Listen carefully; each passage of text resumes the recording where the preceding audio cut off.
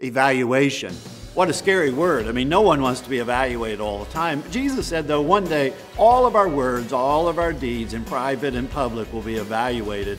I'm thankful that Jesus Christ paid my price, that my evaluation will be covered by Christ Himself.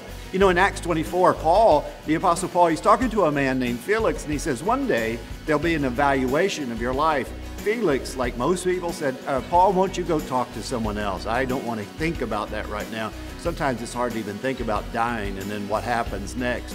But Paul loved this man. He said, I want to tell you the truth of the gospel.